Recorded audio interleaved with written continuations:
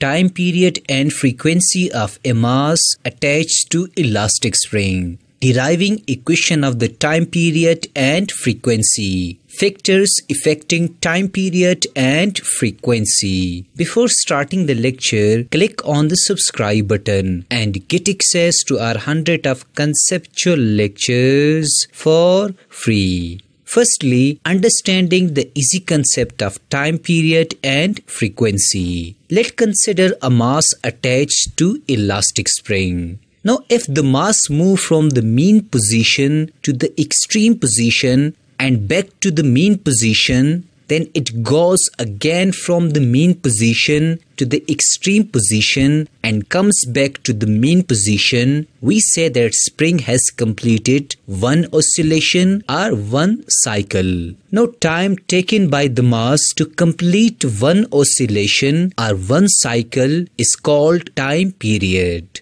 Let me repeat it. Time taken by the mass to complete one oscillation or one cycle is called time period.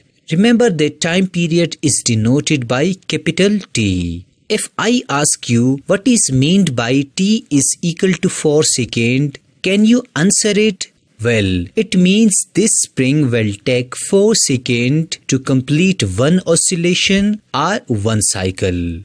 While frequency is defined as the number of oscillations or cycles completed in one second. Let me repeat it. The number of oscillations or cycles completed in one second. Frequency is denoted by small f. Note down that frequency is equal to the reciprocal of time period.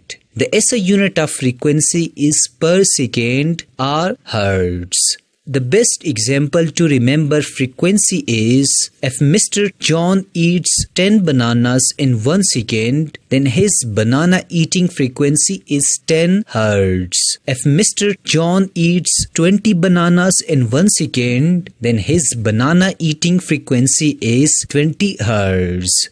Let me ask you, the frequency of this spring is 8 Hz. Do you understand it? I hope you can. It means that in one second, this mass completes 8 oscillations.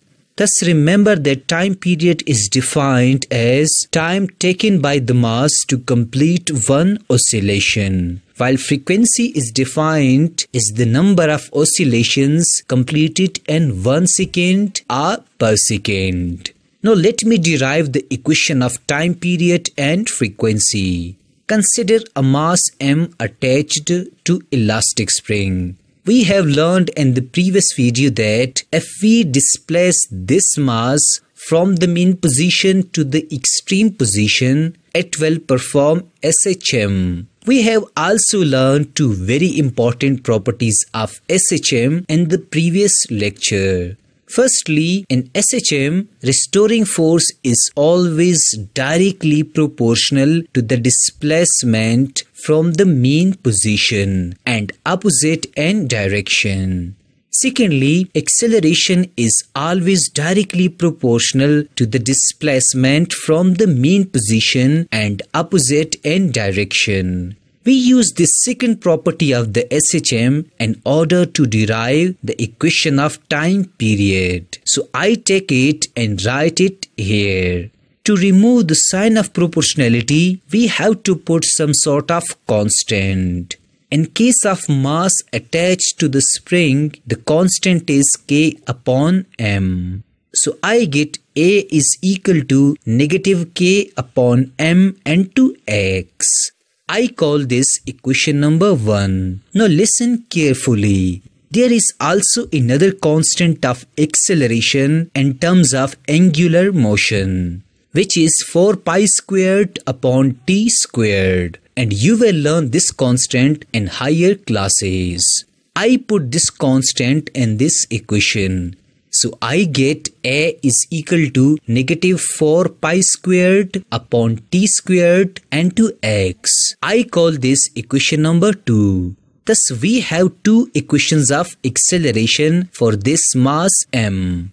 Now comparing equation 1 and equation 2, we get negative k upon m is equal to negative 4 pi squared upon t squared into x.